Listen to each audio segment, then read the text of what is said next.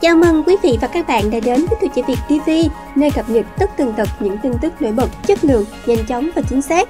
Để xem hôm nay Tuổi Trẻ Việt TV sẽ mang đến cho quý vị những tin tức nóng hổi gì nào. Quốc cơ quốc nghiệp bất ngờ bị ngã khi tập luyện khi sang Italia xác lập kỷ lục thế giới mới. Chiều ngày 2 tháng 2, anh em quốc cơ và quốc nghiệp đã có mặt tại tổ chức kỷ lục Guinness Thế giới tại Milan, Italia để thực hiện ghi hình phỏng vấn. Cả hai cũng có khoảng thời gian tập luyện thực tế trên dàn trình diễn chính thức của ban tổ chức. Tuy nhiên, một sự cố đã xảy ra trong lúc quốc cơ và quốc Nguyệt tập luyện. Theo đó, tại lần tập luyện này, cả hai đã thành công trình diễn khi không bịt mắt với thời gian 1 phút 35 giây. Nhưng khi bịt mắt thì quốc cơ đã bước lệch hướng và trượt chân khiến quốc nghiệp bị té ngã. Tuy nhiên, phía dưới là lớp điện dày nên cú ngã không khiến hai anh em bị chấn thương. Sau đó, cả hai đã ngừng tập luyện. Chia sẻ với chúng tôi, đại diện của hai nghệ sĩ siết cho biết sức khỏe của quốc cơ và quốc nghiệp hiện ổn định nhưng tâm lý khá căng thẳng. Hiện tại cả hai đang nghỉ ngơi và sau đó dự kiến sẽ chính thức thực hiện xác lập kỷ lục vào lúc 13 giờ ngày 3 tháng 2 theo giờ Milan.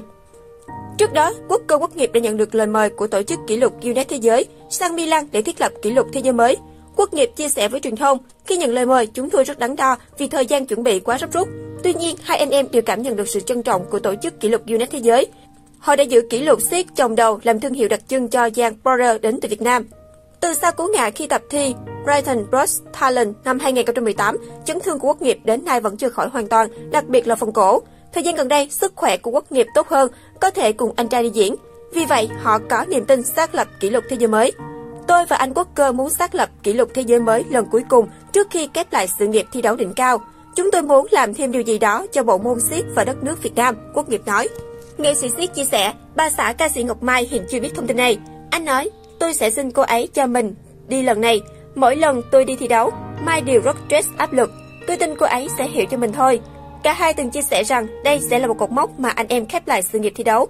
Họ cho biết sẽ không tập luyện với cường độ thi đấu nữa vì sức khỏe bị ảnh hưởng và gặp quá nhiều chấn thương.